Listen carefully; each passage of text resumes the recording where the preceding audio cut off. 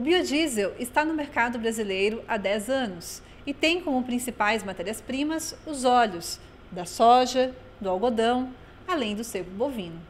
Nas usinas, o processo que converte esses óleos em biodiesel gera também uma grande quantidade de glicerina. Aqui no Laboratório de Processos Bioquímicos da Embrapa Agroenergia, uma linha de pesquisa busca microorganismos capazes de converter essa glicerina numa série de produtos químicos. Nós vamos conversar agora com uma das pesquisadoras que participa desse projeto, a Thais Salum.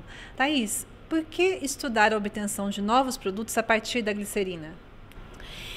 Bom, a glicerina bruta, que é obtida a partir da produção de biodiesel, ela, para ser utilizada em, na indústria farmacêutica é, ou cosmética, por exemplo, ela precisa passar por um processo de purificação.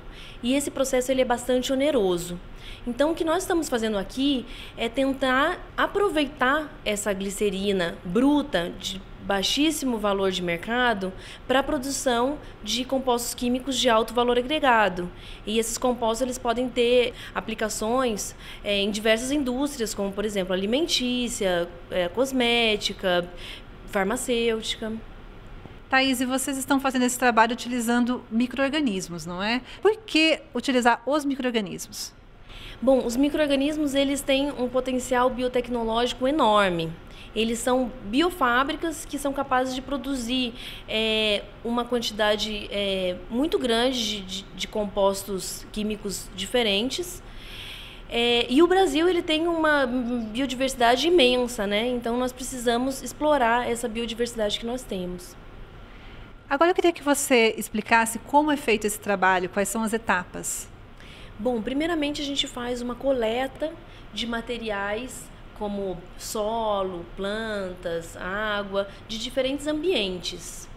A partir daí, a gente faz um isolamento né, de, de leveduras, bactérias, fungos filamentosos que estavam contidos nesse material.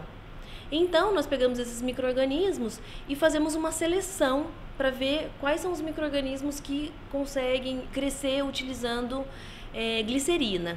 A partir de então, nós partimos para a fermentação, né, onde nós cultivamos esses micro-organismos num meio líquido contendo a glicerina e depois nós analisamos os produtos que esses micro-organismos é, geraram. Uma vez identificado um produto de interesse, a gente passa então a estudar condições de cultivo para é, produzir é, esse produto em maiores quantidades. E que resultados vocês já conseguiram?